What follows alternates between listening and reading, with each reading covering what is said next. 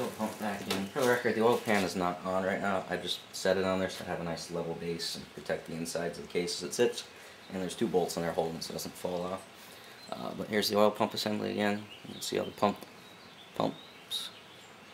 See that eccentric in there? Goes around, slings oil.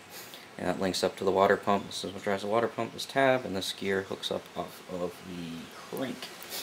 Um, no, I'm sorry, it hooks off the back of the clutch. Uh, there's an alignment dowel here. And there's one hole that's bigger for the alignment dowel to go in. And you can see the shapes here, and they line up the shapes there. And it will just stab in. Like so. And then you rotate it to get at those three bolts, and I'm going to have to look up the torque specs on those.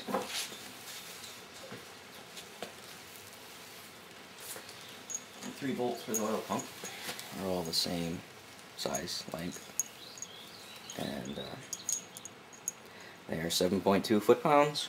All these measurements, keep your FSM with you. They're easy to find on the internet if you need to get one, or eBay one for 10 bucks or something. Just so you can be doubly sure. These are cap head screws. Are they 5 millimeter cap head screws?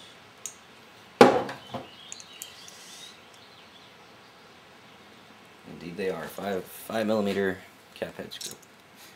I'm going to put these in now.